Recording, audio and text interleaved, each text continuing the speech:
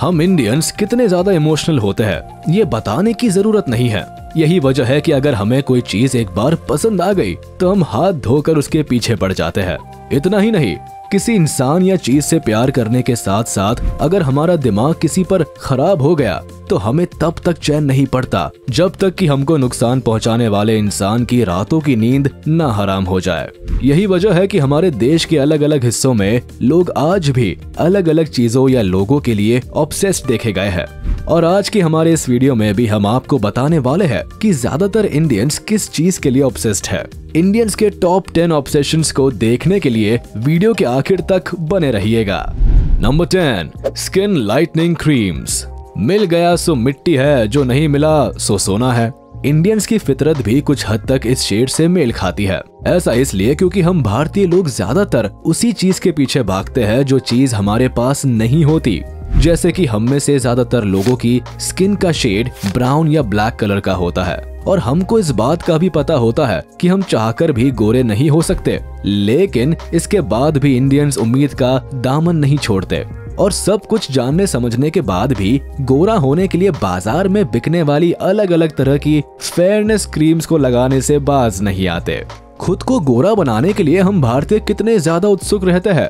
इसका अंदाज़ा यही से लगाया जा सकता है कि आज बाज़ार फेयरनेस क्रीम्स और ऐसे प्रोडक्ट से भरा पड़ा है, जिनके इस्तेमाल से आपका चेहरा चमकाने की बात की जाती है और इंडियन मार्केट में इन प्रोडक्ट्स की बिक्री करोड़ों में होती है। नंबर नाइन हॉरोस्कोप मैचिंग हर माँ बाप चाहते हैं कि उसके बच्चे पढ़ लिख कर अपने पैरों पर खड़े हो जाए और फिर जल्द ही बच्चों की शादी के पवित्र बंधन में बाँध दिया जाए। पर शादी अरेंज हो या लव, दोनों ही केसेस में एक चीज़ हमेशा कॉमन रहती है, वो है लड़का लड़की की कुंडली का मिलन कराना। मतलब रिश्ता कितना भी गहरा हो और लड़का लड़के भले ही एक दूसरे के लिए जान तक देने को तैयार हो, पर अगर दूल्हा और दुल्हन की कुंडली नहीं मिल रही है तो किसी भी कीमत पर ज़्यादातर इंडियन पेरेंट्स अपने बच्चों को इस तरह की शादी करने से रोकते हैं। और कुंडली ना मिलने की वजह से हर साल हज़ारों इंडियन कपल्स की मैरिज टूटती है। हालाँकि अच्छी बात तो ये है कि जैसे जैसे हमारे देश में शिक्षा और जागरूकता का स्तर बढ़ रहा है तो लोगों में भी समझ आई कि सिर्फ़ कुंडली मेल खाने से दो दिलों का मेल मिलाप नहीं हो सकता। और यही वजह है कि पढ़े लिखे परिवार के लोग कुंडली मिलाने के चक्कर में अपने बच्चों का भविष्य खराब करने से बचते हैं। नंबर एट स्वीट प्रोडक्ट्स आप में से शायद ही कोई ऐसा इंसान होगा जो आज भी स्वीट्स को देखकर खुद को कंट्रोल कर पाता हो। और अगर आपकी उम्र 50 के पार है तो भले ही आपको शुगर जैसी गंभीर बीमारी हो, लेकिन इसके बावजूद भी किसी मिठाई या घर में बनने वाला कोई मीठा पकवान सामने आते ही आप भी उस पर बच्चों की तरह टूट पड़ते होंगे। यही वजह है कि मीठा खा खा कर हमारा पेट भले ही ना भरता हो, पर एक समय बाद हमें मीठा खाने के चलते इतनी ज़्यादा बीमारियाँ घेर लेती है। कि कई बार शुगर लेवल्स के बढ़ने के चलते एक बुज़ुर्ग इंसान की मौत भी हो जाती है।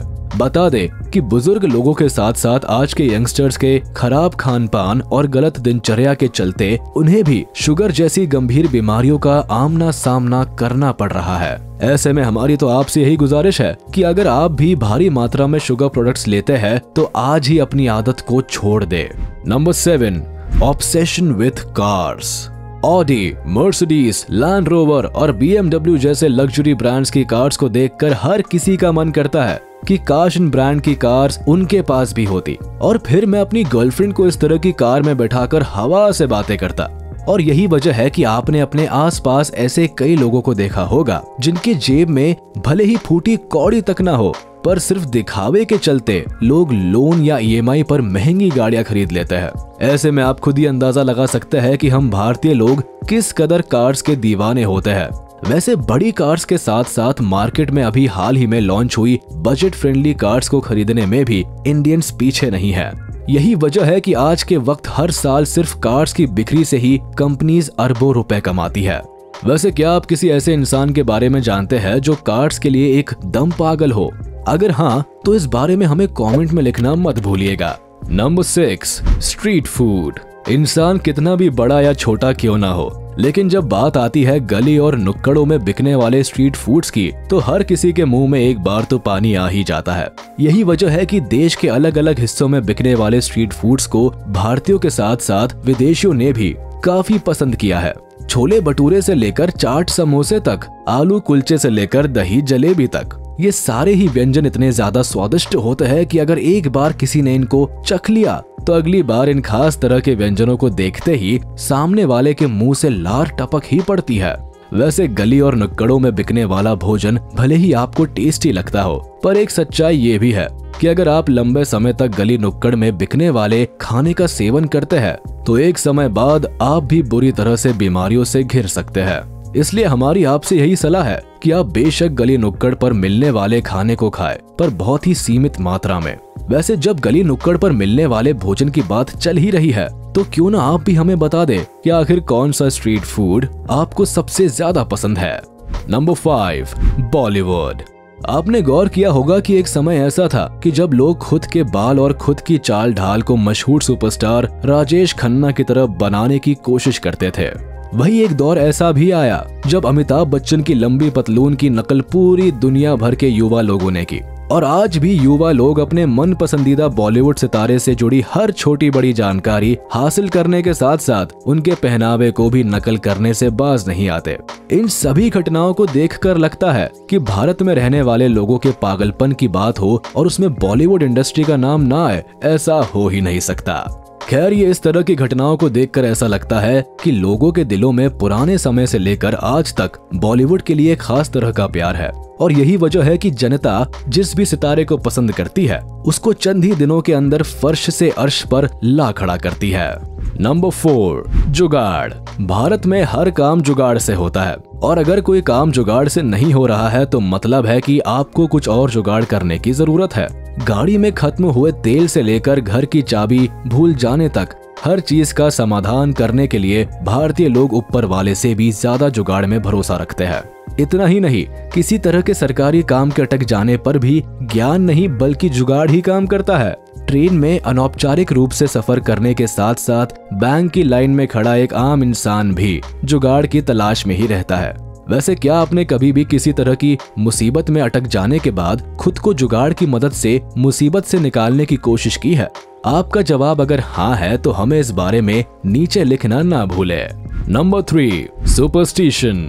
हमें दुनिया भर में मौजूद दूसरे देशों के बारे में तो नहीं पता कि आखिर वहाँ के लोग अंधविश्वास के बारे में जानते भी है या इस बारे में उनका क्या कहना है? पर भारत के बारे में इतना तो कहा जा सकता है कि आस्था के साथ साथ हमारा देश अंधविश्वास से भी भरा हुआ है। और यही वजह है कि कई बार अंधविश्वास के चलते ही सामने वाले को भारी मात्रा में नुकसान उठाना पड़ता है। अगर अंधविश्वास के कुछ उदाहरण की बात की जाए तो बिल्ली के रास्ता काट देने पर अपनी ही जगह पर रुक जाना या फिर छींक आने पर किसी काम को करते करते रुक जाना। इसके अलावा कई अंधविश्वास तो ऐसे भी है जिनके बारे में सुनकर आपके कान ही फट जाएँगे। जैसे कि गाँव और छोटे इलाकों में आज भी ऐसा माना जाता है कि अगर किसी कार्य को करने से पहले अचानक से आपके सामने खाली बाल्टी पड़ गई तो निश्चित तौर पर आपका वो काम नहीं बनेगा। Number two self styled god man आपने अखबारों और समाचारों में अक्सर ऐसी खबरें पढ़ी होंगी, जहाँ ढोंगी बाबा ने कई लोगों को झांसा देकर उनसे करोड़ों रुपए हड़प लिए। और इत्तेफाक की बात है कि इतनी ज़्यादा तरक्की करने के बाद आज भी छोटे से छोटे आदमी से लेकर करोड़पति इंसान भी इन झोली भाप बाबाओं के चक्कर में अपना सब कुछ गवाने को तैयार हो जाता है। हैरानी की बात है कि आया दिन ढोंगी बाबाओं के भंडा फोड़ के बावजूद भी लोग सब कुछ जानने समझने के बाद भी इन्हें ऐसे पूछते हैं जैसे कि ये कोई ढोंगी बाबा नहीं, बल्कि कोई भगवान हो। आपने अभी हाल ही में कई ऐसे चमत्कार करने वाले बाबाओं के बारे में सुना होगा, जो चमत्कार दिखाने का दावा करके अमीरों को लूटते थे। हैरान करने वाली बात तो यह है कि बाबाओं के चलते ही घर की बहु बेटियों का भी शोषण किया गया। ऐसे में हमारी आपसे गुजारिश है कि किसी भी बाबा ये ढोंगी पर विश्वास करने से पहले अपनी अक्ल का ज़रूर इस्तेमाल करे।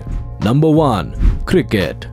दुनिया भर में शायद ही कोई ऐसा भारतीय हो जो इस खेल का नाम सुनते ही रोमांच से ना भर जाता हो। भारत में क्रिकेट खेल नहीं, इमोशन है। और अगर मैच पाकिस्तान के साथ हो तो फिर तो लोग टीवी से ऐसे चिपक जाते हैं जैसे फेविकॉल का जोड़ हो। यहाँ लोगों में भारत के मैच जीतने की खुशी इस कदर मनाई जाती है जैसे क्रिकेटर्स जंग फतेह करके आए हो। और यही वजह है कि यहाँ क्रिकेट वर्ल्ड कप को किसी त्योहार से कम नहीं आका जाता है।